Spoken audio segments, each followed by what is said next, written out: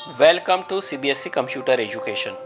आज हम बात करेंगे कि बच्चे जब किसी डॉक्यूमेंट को या फिर अपने नोट्स को क्या करना पड़ रहता है, कि उनको पीडीएफ फॉर्मेट में सेंड करना रहता है तो कैसे आप कौन से एप्लीकेशन के थ्रू आसानी से अपने मोबाइल में पीडीएफ बना सकते हैं और सेंड कर सकते हैं? तो चलिए हम चले जाते हैं प्ले स्टोर पर अब प्ले स्टोर में एक ऐसा एप्लीकेशन मैं आपके लिए बताऊँगा, जहाँ से आप आसानी से क्या कर सकते हैं, पीडीएफ बना भी सकते हैं और उसके और बहुत सारे बेनिफिट हैं।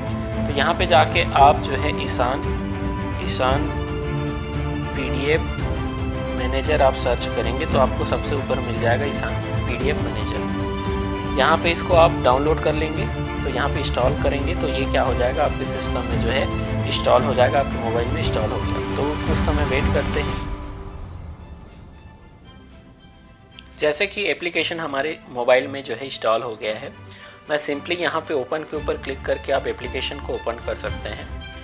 ओपन करने के बाद आपको एप्लीकेशन का इंटरफेस आपको दिखाई देगा। तो यहाँ पे आपको सबसे पहले आपको इसमें कुछ सेटअप करना रहता है। आप डायरेक्टली इसको स्किप कर सकते हैं। स्किप के ऊपर क्लिक करने के बाद ये आपको परमिशन मांगेगा। तो हम यहाँ पे इसको अलाउ करना पड़ेगा क्योंकि हमको क्या करना है कि जब भी पीडीएफ जो बनाना है, हमारे जो गैलरी है, वहीं से हमको बनाना रहेगा।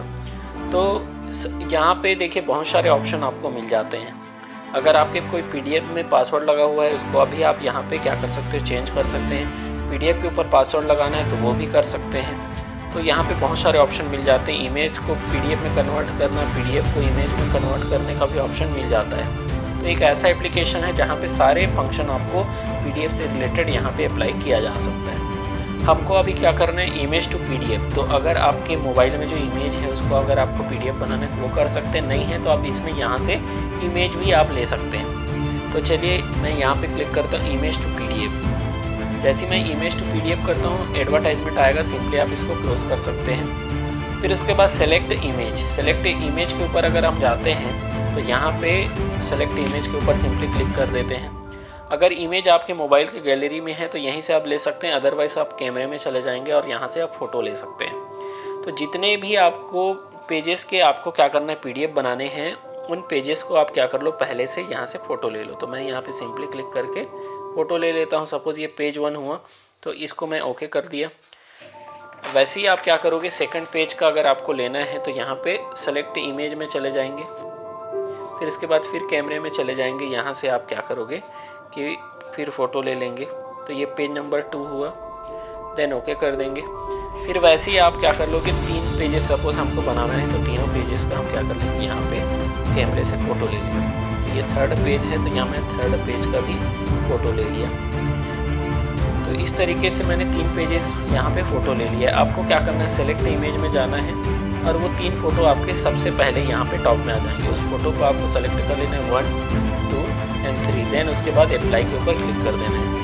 अप्लाई के ऊपर क्लिक करने के बाद यहाँ पे आपको सिंपली क्या करना है? क्रिएट पीडीएफ के ऊपर क्लिक कर देना है। आपको उस पीडीएफ का नेम देगा।